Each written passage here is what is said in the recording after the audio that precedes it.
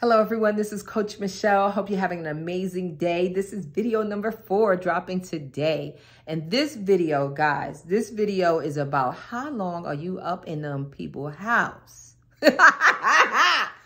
how long are you up in them people house? Guys, when you go out for your initial visit, when you go out for your initial visit, you should not be in the home more than an hour. I'm, I'm sorry, you should not be. The way it works is that once you do that phone consultation, that initial phone call where you're talking about your services and you're talking about what their needs are and you're getting all the information you need, and then it transitions into, um, it seems like it's a good fit, and then it transitions into an in-home visit. When you are going out to that in-home visit, you are going there to meet them face-to-face, um, meet the potential client, confirm everything they told you on the phone, solidify the hours and the days um, that services are needed, walk through the home. You want to know where everything is so you can articulate that to the caregiver. You want to share the information with your registered nurse if it's required that a nurse goes out in your area and you want to sign all the paperwork. You want to get your deposit if you collect a deposit or whatever your intake um, process looks like. You want to get that done. Guys, it should not take more than an hour.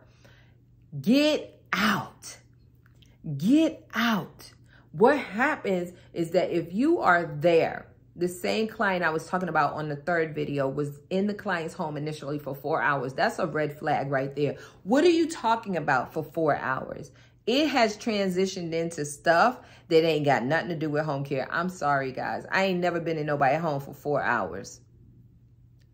And if somebody is asking you so much information after having a phone call with them and they're asking you so much information that takes four hours, that means that they are either not going to sign up and trying to figure out all they can because they trying to start a home care agency Two is that they don't trust you. Three, there's some messiness going on because the family may be dysfunctional and got their own issues going on. And four, baby, you done crossed over and now you are no longer functioning as a business. You functioning as baby, girlfriend, girl around the block, home girl.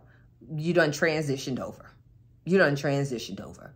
So keep it professional at all times, like I said in the last visit, but time yourself, practice. What, what, what is it? Create a system. Okay, I go in, I greet, we sit down, we talk about this. Put together that process so you know exactly when we, I'm a transit, just like running a race. I'm gonna pass that baton, we run in a relay. What, okay, we're gonna talk about this, we're gonna talk about this, we're gonna talk about this, and you need to control the conversation. Don't have them, oh, you know, I had another agency. Well, you know, well, hold on, let me take this call. And now you sitting there and they on a call for 30 minutes. And then they said, well, you know what? Well, what you think, girl? I like those shoes. Just changing the subject, getting into everything. Or, well, tell me about your policies. Tell me about, if it doesn't have anything with why you're there, guys, you got to get back, pull them back in, reel them back in, get back on track and focus and get out of there. Four hours is four hours too long. Well, no, that's not true. Four hours is three hours too long because it should not take more than an hour. And even if you're a registered nurse and you say, well, I'm the owner and a registered nurse, so I'm doing my comprehensive assi uh, assessment as soon as I finish that, then I could see maybe, you know, hour, hour and a half, depending on, you know, of course, the client needs. But hey, we're non-skilled, so it shouldn't be that complex.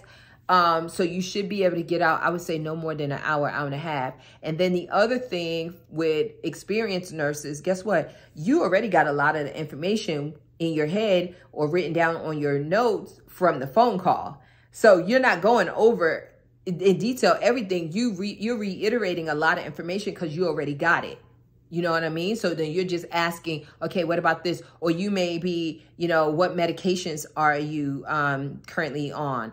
you know, something like this. Or I know you mentioned you're diabetic. Are you currently taking any medication? But guess what? If you're a nurse, you probably got that over the phone as well. So why not get as, as much information over the phone that you can? Or how about having them give you a medication list? So when you're talking to them on the phone, you say, when I come out, if you could please have a copy of your med medication, that would help me out tremendously. So I can put that in your folder. So you see what I'm saying? So you're able to get information during that initial phone call that will save you time when you're in the home. If you're not a nurse doing an assessment and you're not in a regulate and, and you're in a um, non-regulated state, in and out should not be more than an hour. Something has changed. Something has changed. You have switched from business owner to Pookie from around the block. I'm just keeping it real. So guys, another quick video dropping nuggets real, real, real fast.